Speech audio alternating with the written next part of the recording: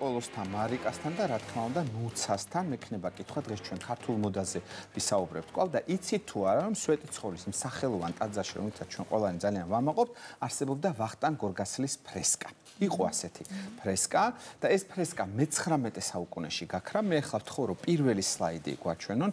ზუსტად და დანამდვილებით ვერ გეტყვით რომ ეს იყო ვახტანგ გორგასლის თანამედროვე, თუმცა ის ვიცით რომ 1827 წლისათვის ეს ფრესკა დაიღუპა, რადგან რუსიფიკაციის დროს მოხდა სვეტიცხოვლის ეგრეთ წოდებული რესტავრაცია და აი მაშინ ამ ამ ბარბაროსობას, ამ ბარბაროსობას შეეწირა ეს უნიკალური ფრესკა 1827 წელს პლატონიოსე მიხელიანის თხოვნით ამ ფრესკის ასლი გააკეთა პიოტრ როსიმ და ძალიან საინტერესოა, რადგან აქ წარმოდგენილია ჩვენი მეფის ფიგურა, დააკვირდით, მას მოკლე წვერი ქონია, ოდნავ დაგრეხილი ულვაშები, ასევე მას აცვია წითელი სამოსი და თუ დააკვირდებით მეხუთე საუკუნეში, სავარაუდოდ მეხუთე საუკუნეში, მოდაში ყოფილა აი ესეთი გვირილების მსგავსი დეკორით შემკობილი წითელი სამოსი, ასევე მეფეს უკეთია.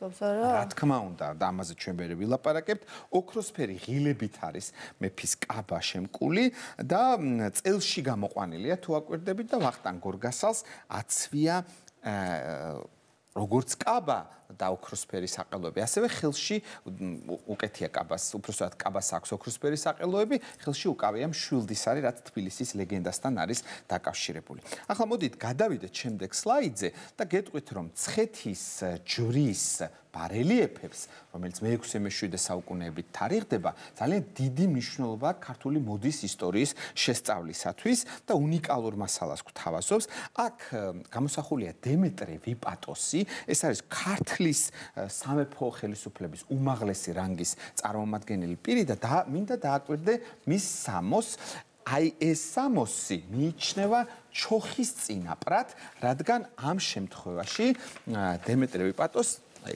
კარგად მინდა დააკვირდეთ ცრუ სახელოიანი კაბა აცვია. აი ეს ცრუ სახელოიანი კაბა მიიჩნევა რომ არის ჩოხის წინაპარი. სხვათა შორის უნდა გითხრათ რომ აი რადონეზე კონსერვატორები იყვნენ ქართველები და ამასთანავე ტრადიციების მიმდევრები. ეს არის მე-6 საუკუნის ფრესკა. მაგრამ ახლა ჩვენ შემდეგ სლაიდში ვნახავთ მე-13 საუკუნის ფრესკას. დააკვირდით, მარიკა, იცი აქ ვინ არის დახატული? აქ არის დახატული არც მეტი არც ნაკლები ჩვენი ცოტნე დადიანის ოჯახი. აი აქ არის პატარა ცოტნე დადიანი, მისი мама შერგილი და აქ არის გამოსახული მათი დედა, დედოფალი ნათელი. და მინდა რომ დედოფალ ნათელის სამოს დააკვირდეთ ვიწყდით მის მოსასხამს და აი აქაც დაინახა ცრუ სახელოს. აი ეს ცრუ სახელო ისევ გავიმეორებ და რატო უსვა მამას ხას ცოტა მოგვიანებით ვიტყვი, ცრუ სახელო მიიჩნევა ქართული ჩოხის წინაპარს. რატომ? აი نيكოლოზის საპატივცემულოდ მე შემეძლო ბევრი მაგალითი მომეტანა, მაგრამ نيكოლოზის საპატივცემულოდ აი ახლა გამოჩნდება თავადი ლევანის ჩოხა, მოდით შემდეგი სლაიდი ვნახოთ. თავადი ლევანის ჩოხა ფილმიდან კეთო და კოტე, ხო გასწოს თავადი ლევანი. აი აქ დააკვირდი სახელოებს, ესეც ცრუ სახელოებია, რაც ადასტურებს იმას, რომ აი ჩოხის და სამოსის გაწყობის ეს ტრადიცია საქართველოში უძველესი დროიდან არსებობდა. შეიკეროს თავის გარდერობისთვის ერთი ცრუსახელოიანი მოსა. მაგრამ ეხლა თქვენ მინდა იცოდეთ ასეთი რამე, რომ ჩოხა არის ფიქრობთ რომ მარტო საერო სამოსი იყო. ახლა ეკრანზე გამოჩნდება მეხუთე სლაიდი და ამ მეხუთე სლაიდიდან გამომდინარე მინდა გითხრათ რომ აი აქ ამ მამაკაც რომელიც გახლავთ სარგის ჯაყელი ის არის წარმოდგენილი ჩოხაში. მე-9 მე-10 საუკუნეების ქართულ ჰაგიოგრაფიულ ნაწარმოებებში ჩოხა, როგორც სამონაზნო და საბერო შესამოსელი ისე ამოცემული და თან ორივე სქესისათვის. მაგალითად, გრიგოლ ხანძთელის ცხოვრებაში მონაზონი სამოს პირდაპირ ჩოხა ჰქვია. ახლა ამის დასტურად, რომ ჩოხას ქალებიც და მამაკაცებიც იყენებენ, მე გაჩვენებთ ძალიან საინტერესო სლაიდს. მოდით ნახოთ მე-6 სლაიდი. ეს არის ქობერის სახელოვანი ქართული მონასტერი. ისტორიულ სომხეთ, უბრალოდ თანამედროვე სომხეთსა და ისტორიულ საქართველოში და იქ არის უნიკალური საფლავის ქვები. მე საფლავის ქვები შესწავლილი მაქვს 2 წლის წინ მიმოგზავრე, მაგრამ ეს არ არის თავარი. მე-20 საუკუნის 70-იან წლებში ქართულ მეცნიერთა ჯგუფმა აქ აღმოაჩინა ივანე მეორე მანდატუთოხუცესის მეუღლის ხუაშას საუცხოო ეპიტაფია. ეს არის ფიქრობთ რომ აი თამარ მეფის დროს რო იყო ხუაშაკ ცოქალი ის ქალბატონი.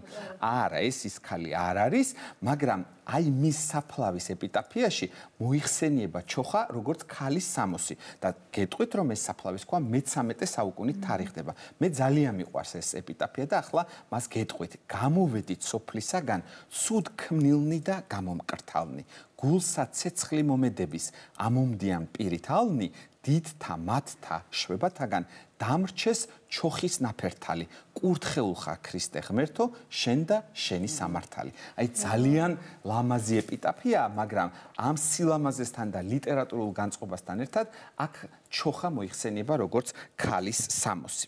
ახლა მოდით და გადავიდეთ მეშვიდე სლაიდზე, სადაც გამოჩნდება ხელოვნების სასახლეში დაცული არაერთი ჩოხა, ჩვენ გვაქვს ჩოხების უნიკალური კოლექცია და გაქვე გეტყვით რომ ამ შესანიშნავ სამოზე არაერთი მოსაზრებაა გამოთქმული და ბევრი კავკასიელი ხალხი თუ ეთნოსი მის მithვისებას ცდილობს. აი ამიტომ იყო რომ მე თქვენ გაჩვენეთ წინა სლაიდები. პროფესორი როლან თოფჩიშვილი, ძალიან ცნობილი ქართველი მეცნიერი წერს, დაჟინებით აღნიშნავთ, მამაკაცის სამოსი ჩოხა ახალუხი საქართველოში გაჩნდა და აქედან შეითვისეს ის კავკასიის სხვა ხალხებმა.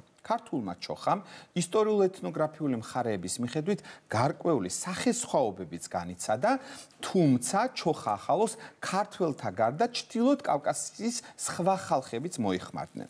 ეს საერთო კავკასიური სამოცი სამეცნიერო ლიტერატურაში ჩერქესკის სახელითაა ცნობილი და იმის ასოციაციას იწვევს, რომ ის თითქოს ადიღეელებმა შექმნეს და მათი მატერიალური კულტურის ეს ელემენტი კავკასიის სხვა ხალხებში და მათ შორის საქართველოსშიც ადიღელთაგან თითქოს გავრცელდა.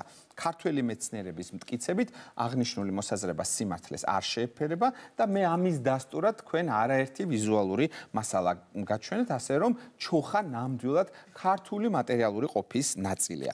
მოდით ახლა როცა ვსაუბრობთ ჩოხაზე, წარმოუდგენელია ჩემო نيكოლოს არ ვისაუბროთ ულვაშზე. იმიტომ რომ ულვაში აი ამ ქართული მოდის განუყრელი ნაწილი იყო. აი აქ ახლა არის გამოსახული ორი ფრესკა, ორივე არის რაჭიდან, სორის მონასტრიდან და ორივე თარიღდება მე-14 საუკუნით.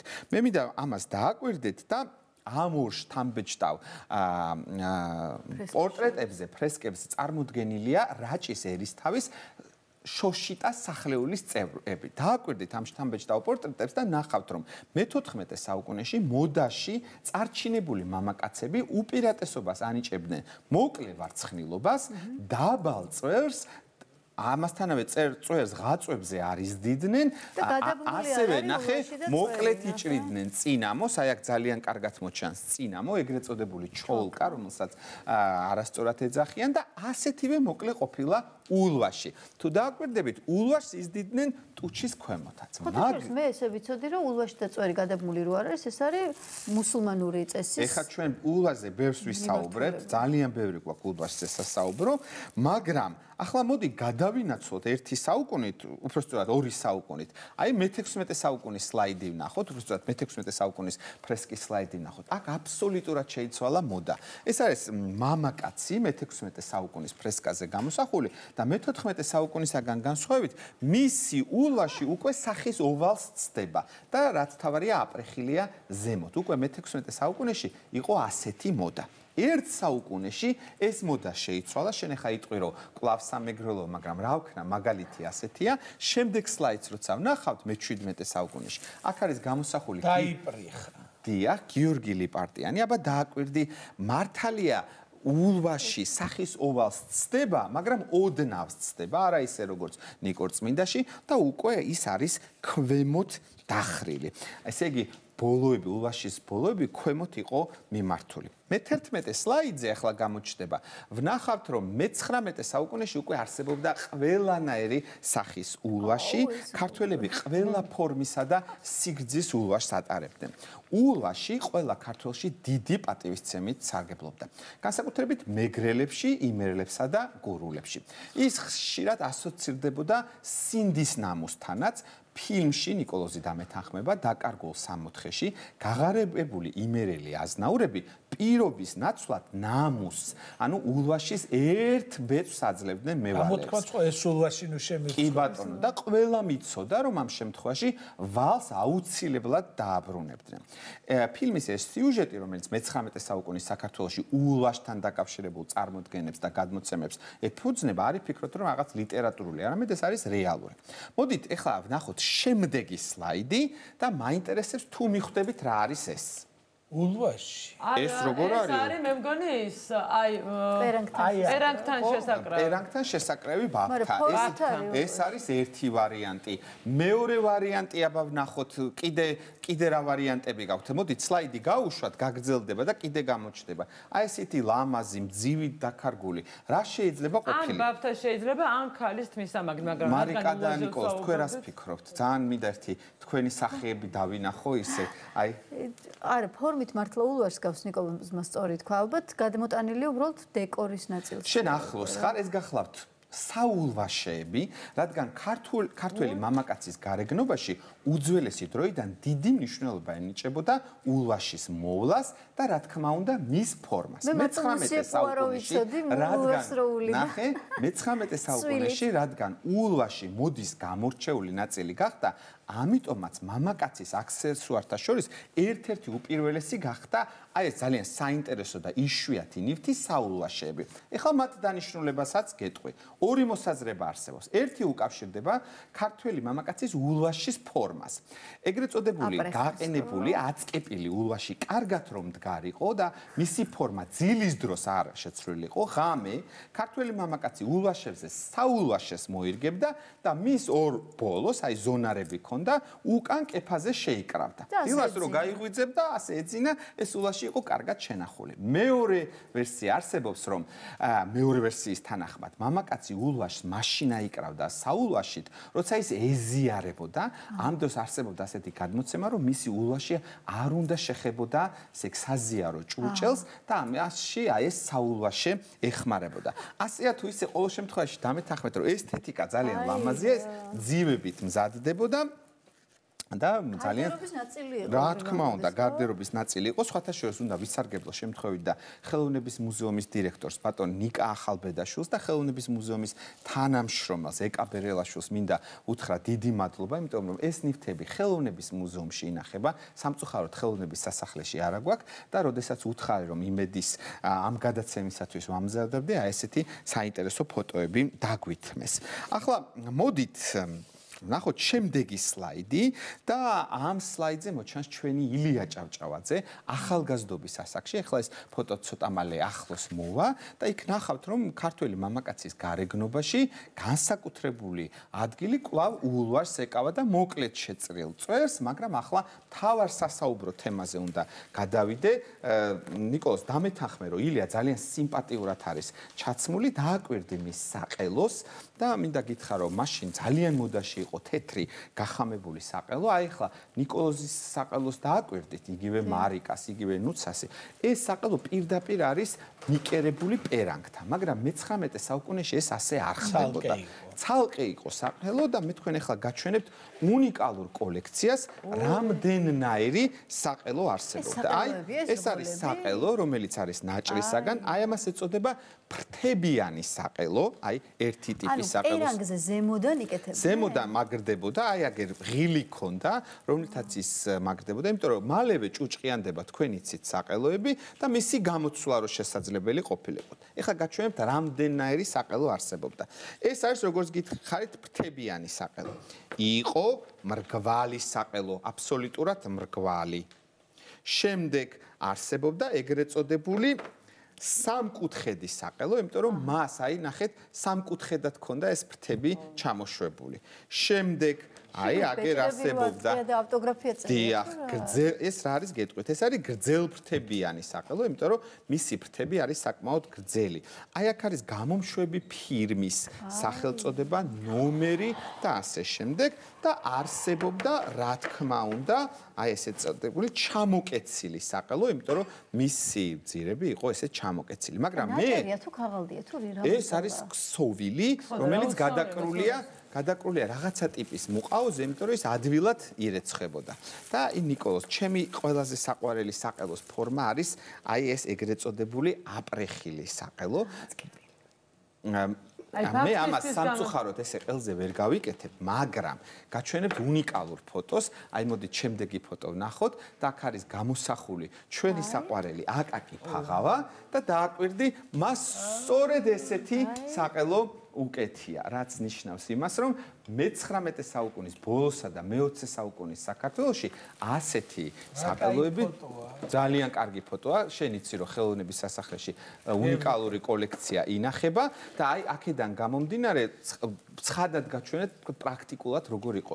ჩვენ გვაქვს ილიას პერიოდის საყელოებიც, გვაქვს იაკობ გოგებაშვილის საყელოები და ასე შემდეგ და ეს იყო ძალიან აქტიურ მოხმარებაში. მაგრამ ახლა შემდეგი სლაიდი უნდა გაჩვენოთ.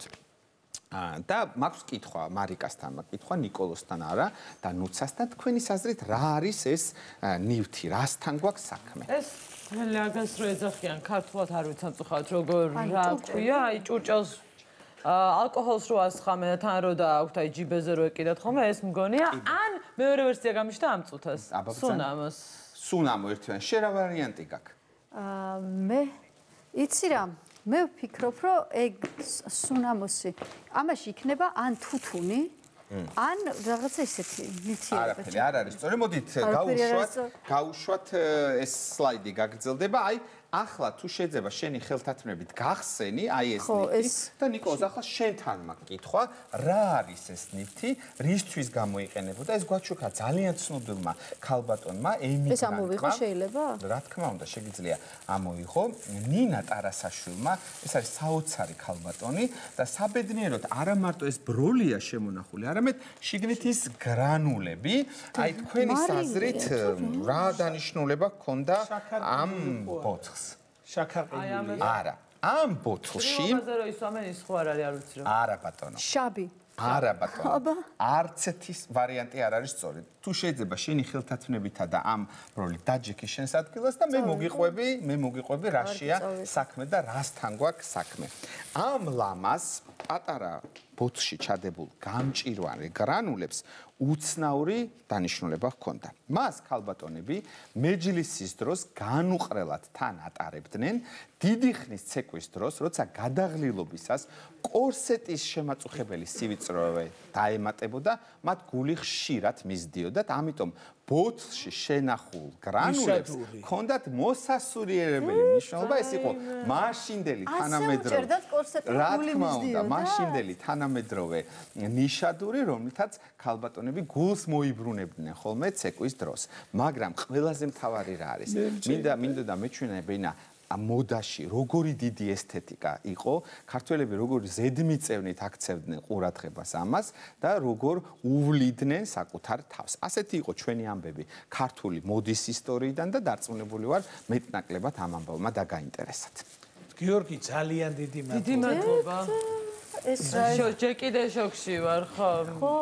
გიორგი ძალიან დიდი მადლობა და იმეც ვიტოვებ რომ აი შენი საუბრები მოდაზე რომელსაც აი ეს ნაწილ-ნაწილ სერია-სერია ლუკ-ბალუკმა გვაწვდი გაგრძელდება იმიტომ რომ მართლა ისეთ რაღაცებს ვგებლობთ რომ აი ამდენი ადამიანი ვფიქრობდი და დაახლოებითაც ვერ მივხვდით აი ეს რა იყო და მადლობა შენ იმისთვის რომ შემდგომში რომ მკითხავე ზუსტად მეწოდინება რა კი ბატონო გადამისა გულის მოსაბრუნებელი გულის მოსაბრუნებელი რა თქმა უნდა გულის მოსაბრუნებელი მაგრამ კიდევ ერთ რამეს გეტყვით მოდასთან დაკავშირებით, რომ საბედნიეროდ მოდა გვაძლევს იმის საშუალებას, რომ ადამიანები მიხვდეთ როგორები იყვნენ, იმიტომ რომ სამოსი საუკეთესოდ გადმოსცემს ადამიანის ხასიათს, ამას ძალიან დიდი მნიშვნელობა ენიჭება. ჩვენ თავის დროზე ესე განსაკუთრებულ მნიშვნელობასა და ყურადღებას არ ვაქცევდით და მახსოვს ერთხელ სტრასბურგში ერთ-ერთ სამეცნიერო სემინარზე ერთმა ძალიან ცნობილმა მეცნიერმა მითხრა, რომ ყველაზე ძვირფას ექსპონატად სოფლიოში არ ითვლება არც ნახატი, არც ოქრო, არც ვერცხლი, ითვლება სამ სამოსი, რადგან ის ისტორიული პირის ან სხეულთან არის ყველაზე ახლოს და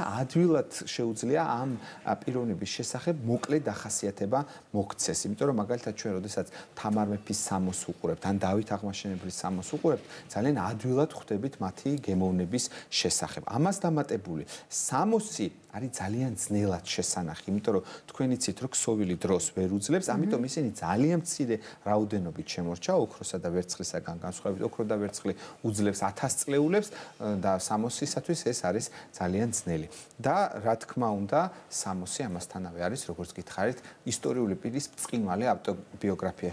შეხედავ ნიკოლოს მარიკას, ნუცას და მაშინვე ხვდები როგორი გემოვნება აქვს ამ ადამიანებს, როგორი ესთეტიკა აქვს, როგორი ხასიათი აქვს და ასე შემდეგ და ერთსაც ვიტყვი რომ 60-ის ფერიც კი გადმოსცემს ადამიანის ხასიათს. ეს არის ამისი 100%-იანი დასტორი. სუმინდა რომ უსმინო. აბა, არ დასრულდეს.